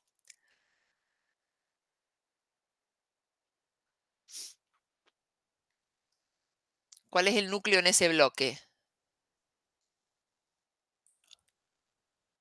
Network. Claro, red, red. ¿Sí? Entonces, MTN es una red telefónica. Bien. ¿De dónde? Estás muteada, Estela. ¿De África? De África, ¿sí? No es cualquier red, es la más grande. O sea, se compara a MTN con todas las redes del, del continente. Entonces, ese Larches no es que dice una red grande telefónica, sino la más grande. ¿Entienden? Entonces es de superioridad, superioridad de, superación, ¿sí? Lo más grande. Es cuando tiene EST, es cuando se compara un elemento con una, con toda una totalidad. ¿Mm? Corresponde a otro tipo de comparación. En cambio, acá lo que tenemos es de comparación, de similitud, es el tan como. ¿Sí? Entonces, aparte de decir que as puede ser como, ya que o a medida que, cuando está eh, combinado as, as, es tan como o tanto como, tan funcional como o tanto como, ¿sí? Bien, el otro caso de, eh, de comparación es eh, que yo le decía, el otro caso con que acompaña así, que aparecen los dos juntos, en vez de ser as, es so, y ahí es la desigualdad porque este so reemplaza las cuando la oración está en negativo. Entonces, no es tan fácil como. ¿Sí? También sería tan como, pero va a aparecer en negativo. ¿Sí? Otro caso de comparación es de dos cosas o personas eh, y uno más que la otra o uno menos que otro. Y ahí, en inglés, ustedes van a ver que esa palabra más puede aparecer como una palabra, que es la palabra more, pero solamente aparece, em, acá la tengo, more, cuando el adjetivo que se usa para comparar es largo, tiene más de una sílaba. Una sílaba sería, por ejemplo, si yo tengo la palabra beautiful, yo tengo beautiful, como tres golpes. En cambio, por ejemplo, la palabra strong tiene muchas letras, pero es uno solo, strong. Entonces, more no va a estar adelante de un adjetivo corto o un adverbio corto, va a estar adelante de un adverbio largo. Cuando el adjetivo o el adverbio es corto, ustedes van a tener que aprender a leer ese más en, esa, en ese sufijo ER. Entonces, high ya no es alto o sí, alto o elevado, sino va a ser más alto o más elevado, que no es lo mismo, ¿sí? En ese caso, ¿cuál es la diferencia de largest y larger, si yo tuviese con ER? Que yo cuando digo largest es uno con la totalidad. En cambio, si yo dijese larger, sería uno con otro. Esto es más que el otro, ¿sí? Y entonces, sí, ahora viene el último caso. A ver qué tengo. Ahí está. Que es de uno con la totalidad. Ahí lo tienen, ¿sí? Que es la terminación EST, que la tienen que leer a ese EST como el más, pero si aparece la palabra completa como el más, va a ser, en vez de more, va a ser most. Y ahí estaba el caso de most, que cuando está delante de un adjetivo o un adverbio es el más o la más, pero tiene otro uso, que es que cuando está adelante de un sustantivo, se está refiriendo a la cantidad, ¿no? Algo, el más interesante, el más caro, el más, em, ¿qué otra eh, puede ser? El más eh, sustentable, sino que sería como, se está refiriendo la cantidad, sería la mayoría de. ¿Sí? Entonces, por ahí a lo que más nos vamos a centrar cuando veamos comparaciones, no es tanto al tipo también de comparaciones, podría ser, sino a que ustedes puedan reconocer esto, ¿sí? El EST, el ER, el tan como, ¿sí? Cuando se está viendo esos casos. Em, algunas aclaraciones. Em, con adjetivos, es, o sea, con los adjetivos, también acá tenemos el likely, ¿sí? Que era probable, ¿sí? Más probable que, ¿sí? Y otra cosa es la palabra less, ¿sí? Eh, la palabra, nosotros hasta ahora decimos más alto, más grande, todo eso. Pero ¿qué pasa si queremos decir menos? O sea, lo contrario de more es less. Y lo contrario de most es least. ¿Sí? Profe, Sí. ¿Lo puede escribir en el chat lo que acaba de decir, por favor? O por... estoy media perdida y no quiero Ah. interrumpir. No, no, no. el- lo que pasa, fíjate en el cuadernillo, porque capaz que en el cuadernillo está más claro.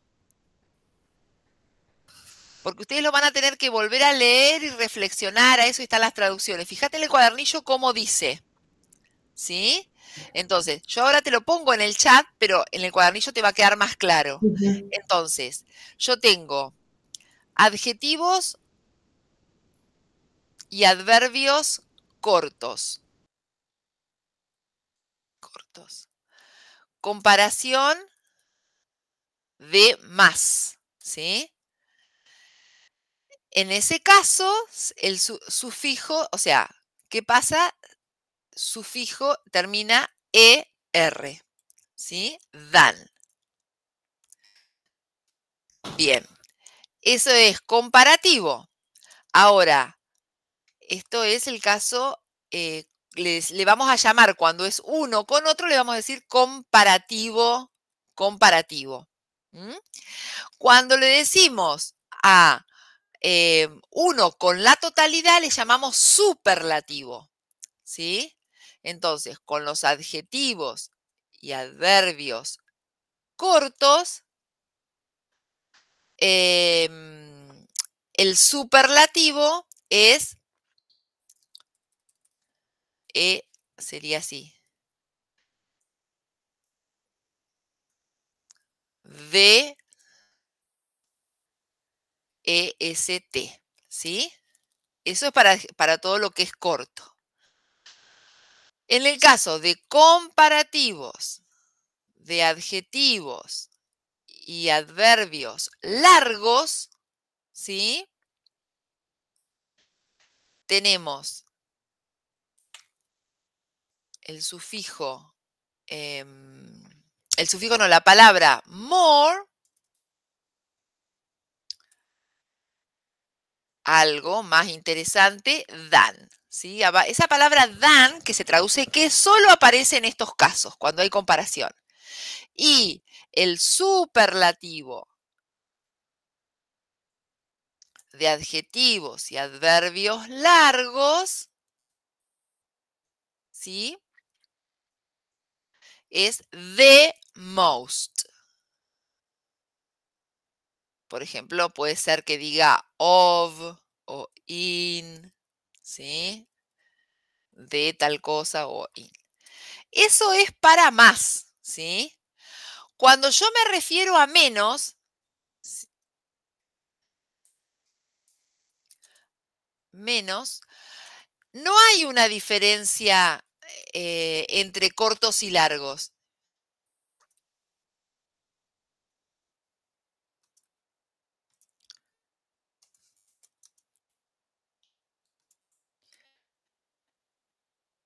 sino que se usa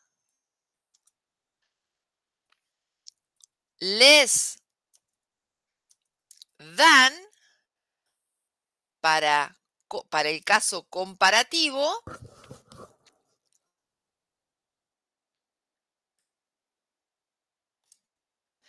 y the, the least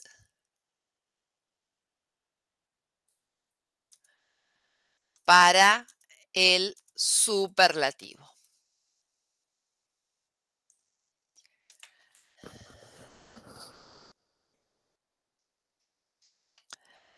Entonces, si ustedes observan acá,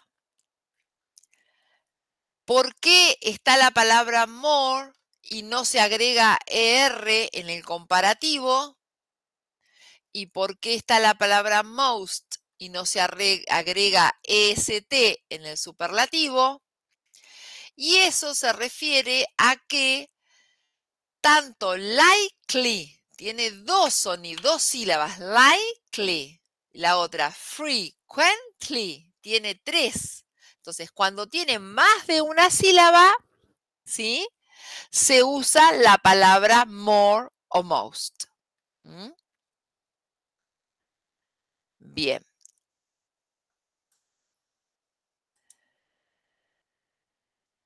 Pero, como en todas las reglas, siempre hay algunos que no cumplen con esta regla, que son los que se van de la regla, ¿sí? Que les llamamos irregulares. Si ustedes tienen el adjetivo bueno, en castellano también es irregular, porque el adjetivo bueno, el adverbio es bien. ¿Cuál es la, diferencia entre bueno y bien? Yo digo, algo es bueno, ¿sí? O eh, un buen libro. Pero yo digo, algo estuvo bien cuando me refiero al verbo o algo se hizo bien. Cuando está modificando al verbo es adverbio. Entonces, well es bien, es el adverbio. Y good es el eh, adjetivo. Cuando vamos al comparativo, para los dos se usa, tanto para el adjetivo como el comparativo, eh, para el adjetivo como el adverbio se usa para decir mejor es better. O sea, no cumple con la regla porque no se le agrega R ni a good ni a well, ¿sí? Es otra palabra que es better, better than, mejor que. Y cuando digo el superlativo, quiero decir, no puedo decir el más bueno o el más bien, se dice el mejor. Por eso digo que en castellano también es irregular. No se usa con más o el más. ¿Sí? Y la palabra en ese caso es best, el mejor. The best.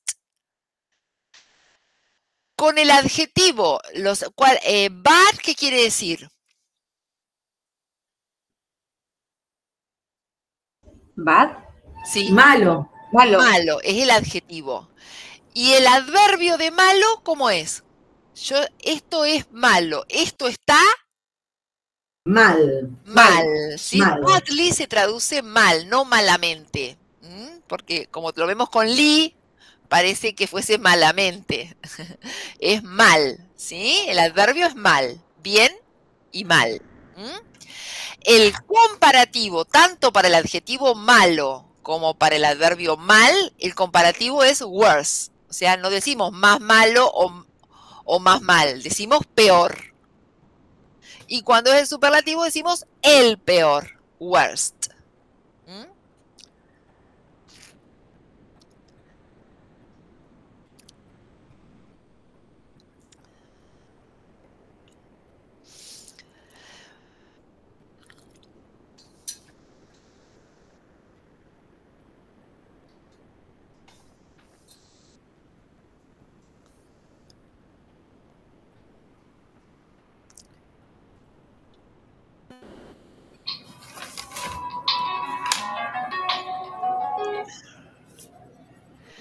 Bien, cuando tenemos eh, en inglés em, el adjetivo que nos referimos a cantidad, que decimos mucho o poco, ¿sí?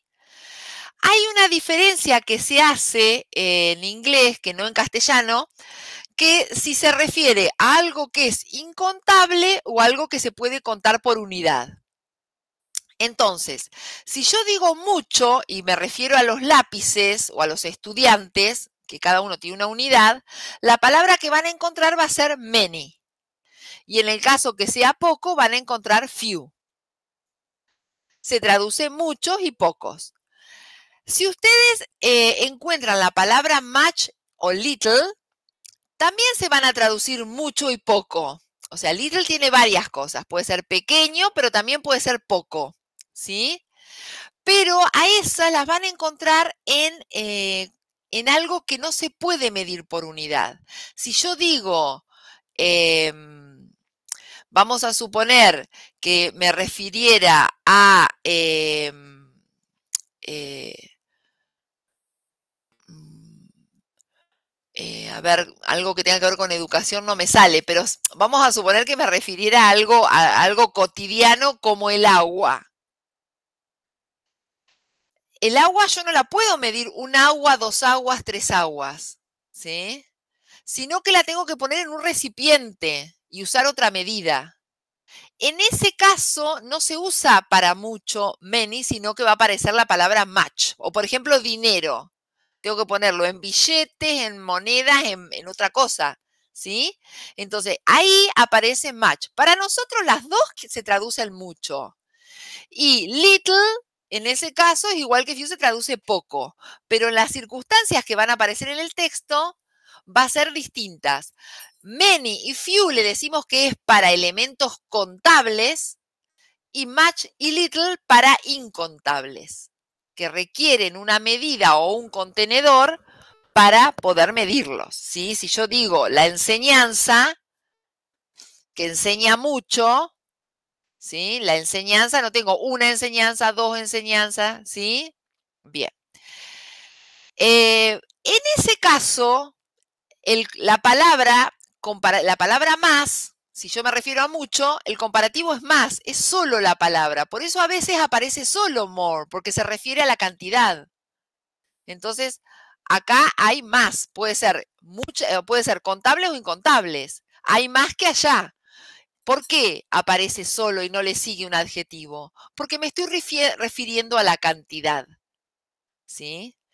Y lo mismo, fewer, en ese caso sí hace diferencia fewer para cuando hay menos en cantidad, pero son cosas contables, o hay menos, eh, por ejemplo, posibilidad, ¿sí? Posibilidades less, va a decir, para algo incontable.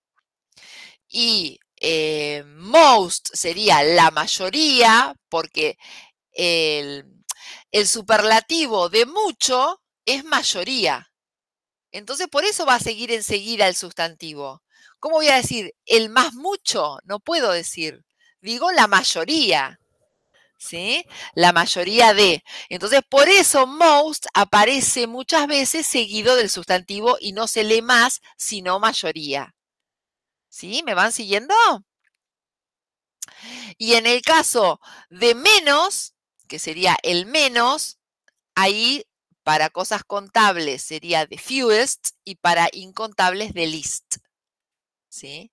Que se refiere en cantidades también, ¿sí? Bien, después eh, tenemos el adjetivo late, que es tarde, que en el comparativo sí es regular, ¿sí? Later sería más tarde. También se puede traducir posterior, ¿sí? Pero en el superlativo hay dos diferencias. Está last o the latest. Porque last es el último que ya pasó. Y the latest sería el último hasta ahora. ¿Sí? Eh, far quiere decir lejos, pero a veces se usa metafóricamente para cuando nos referimos al alcance. Por ejemplo, si yo estoy hablando de una localidad, el comparativo, que se escribe distinto, que parece que fuese padre, pero es farther, quiere decir más lejos, es para la distancia. Pero si yo me, me, refiero al alcance de una experiencia que fue más lejos, no va a aparecer farther, sino further, con una U. O si yo necesito eh, ir más allá de la información que me, proveyeron, entonces sería mayor información, va a ser further, ¿sí? Es eso, que va más allá, que tiene un alcance más allá. Y el comparativo sería farthest y furthest, ¿sí?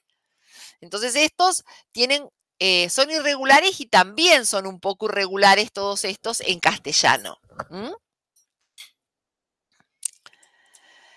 Bien, otros casos de comparación, ¿sí? Es a veces aparece em,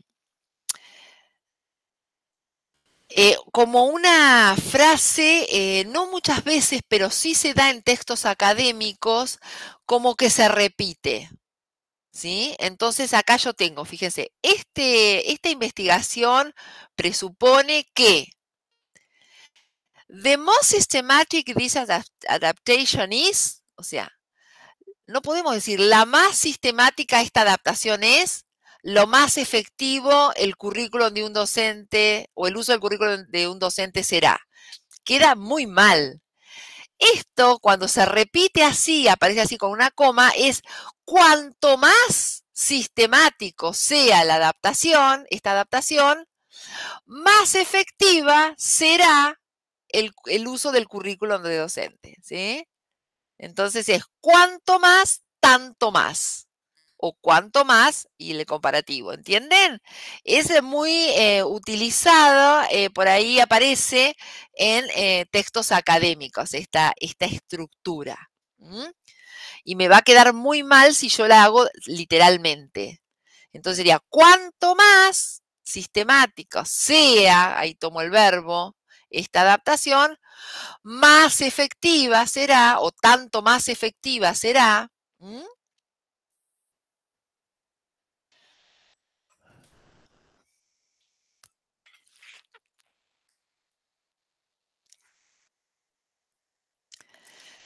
El otro caso es que a veces aparece, esto me hace acordar, em, e, en, varias lenguas está esto, que se repite, better and better, ¿sí? Em, eh, yo soy de familia vasca y en el euskera también se usa así, rico, rico, ¿sí? Y es, que quiere decir que uno lo intensifica. Entonces esto, no vamos a decir son mejor y mejor, no sería muy académico decir así. Sería cada vez mejor. O sea, lo que me está diciendo es cada vez que va progresando. ¿Sí? Y eso también suele aparecer. Better and better. ¿Sí? Entonces, acá nos salimos de lo literal de la palabra por palabra porque ya son expresiones que indican un incremento o a veces puede decir eh, less and less, ¿sí? Cada vez menos, ¿sí? Que es progresivo. El otro parece un incremento o un descenso paralelo al que dijimos primero, porque es cuanto más, tanto más, o cuanto más, tanto menos, a veces es discontinuo, ¿sí? Cuanto más hace, peor, ¿sí? Bueno, puede ser, pero eso es algo en paralelo. En cambio, esto es que se intensifica, que es progresivo, que aumenta para abajo o para arriba.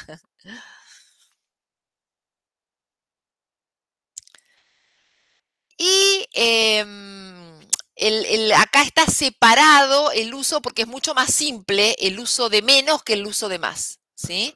Entonces, esto ya lo vimos, pero es que la palabra les es menos y eh, lis sería el menos. Y no importa si el adjetivo es corto o es largo, ¿sí? Ahí aparece.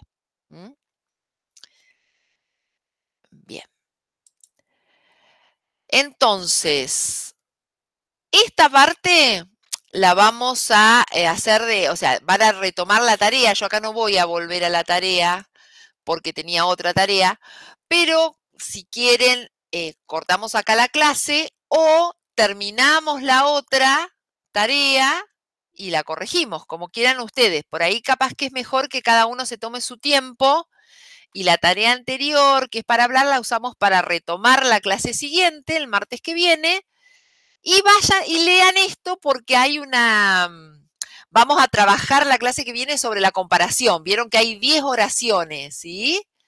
Entonces, fíjense si quieren ir haciendo las primeras, las cinco primeras, si les sobra tiempo, hagan las cinco primeras oraciones de la actividad 22.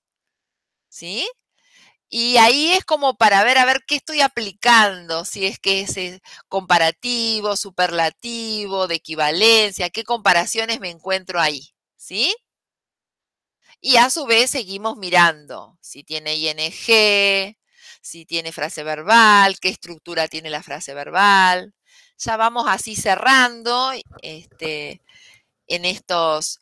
Vamos a avanzar un poquitito más porque como andamos bien y nos quedan varias clases, eh, vamos a pensar un poquito más en el cuadernillo de estos temas, pero principalmente eh, el segundo parcial se va a basar eh, en ING y frase verbal. Si aparece un comparativo, también podrán visualizarlo y, decir.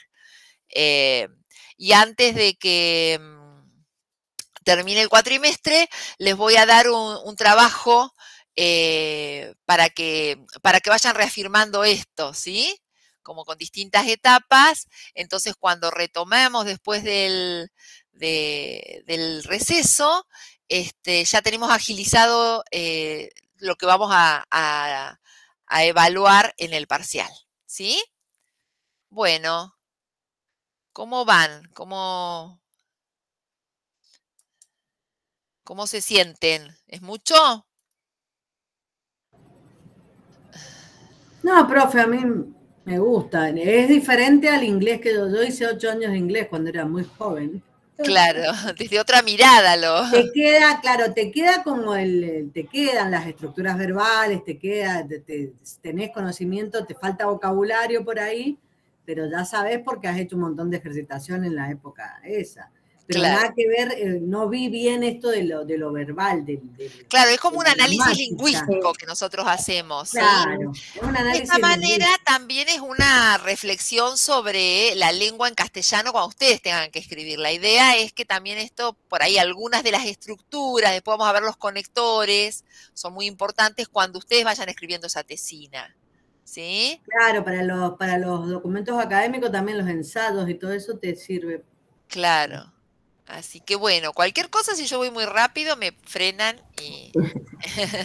no, a mí me pasa que yo inglés cero, tuve en algún momento allá en el secundario repartido con francés, y nada, después en el profesorado no, no tuvimos inglés y ahora me doy cuenta de la necesidad, entonces me lleva más tiempo.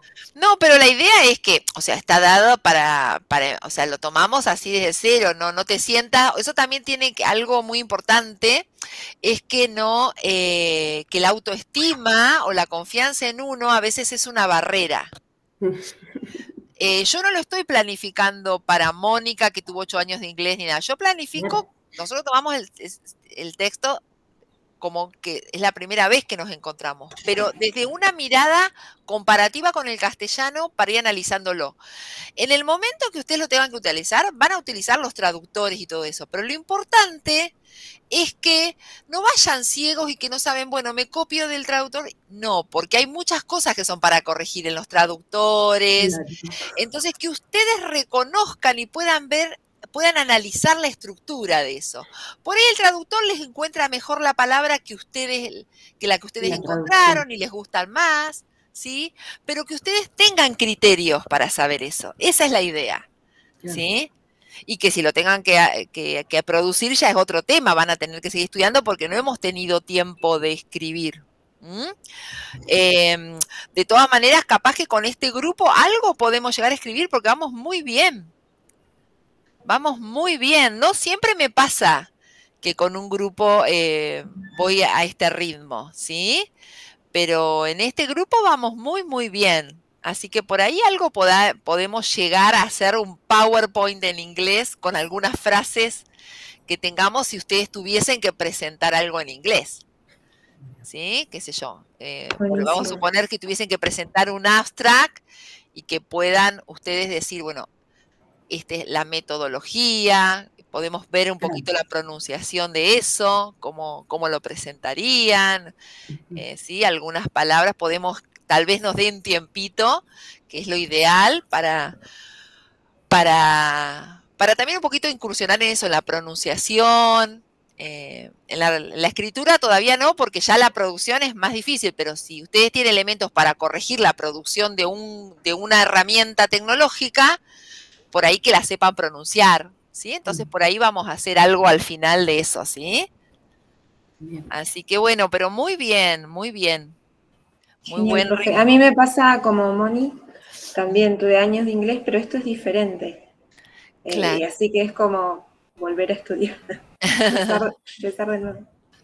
Sí, es otra mirada este, porque también los textos que se dan cuando uno estudia inglés en, un enfoque comunicativo no es ni el mismo vocabulario ni las mismas estructuras.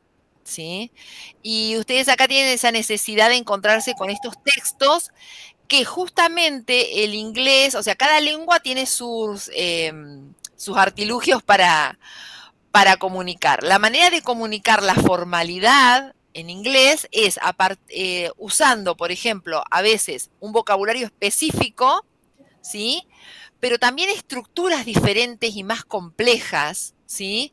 Y a veces se usa vocabulario obsoleto. Entonces, esos elementos le dan eh, una formalidad al texto y a veces esa formalidad em, es una barrera. Alguien ha estudiado un montón y aparte no entiendo nada. ¿Y acá qué quiere decir? ¿Y acá acá? ¿Y acá cómo lo dice? ¿Sí? ¿Por qué? Porque el registro es otro. Es un registro formal. Entonces, bueno, de ahí, de ahí lo enfocamos. bueno, un gusto. Yo me quedo en consulta y, bueno, y, nos vemos eh, el martes.